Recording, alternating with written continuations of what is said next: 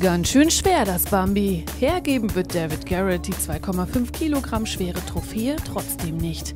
Seine Auszeichnung in der Kategorie Classic ist sein ganzer Stolz. Ich habe ähm, natürlich im Vorhinein mir äh, Gedanken darüber gemacht, was das eigentlich für mich bedeutet. Und ist natürlich sehr, sehr schwierig, gerade wenn es so hektisch ist, mal so einen Moment zu finden, äh, in dem man auch so ja, ein Stück weit zurückgucken kann, was man so auch letztes Jahr und die Jahre davor gemacht hat. Aber das ist eigentlich so ein schöner Moment, äh, der einen daran erinnert, ähm, was alles passiert ist. Und das ist einiges. Mit vier Jahren bekommt er die erste Violine. Heute mit 33 steht er für den perfekten Crossover aus Klassik und Popmusik.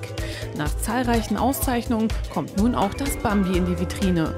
Oder wo wird das Rehkitz zukünftig stehen? Es wird einen sehr schönen Platz äh, bei mir bekommen. Nicht direkt, sehr offensichtlich, aber halt äh, bei ein paar anderen Sachen, die mir auch viel wert sind.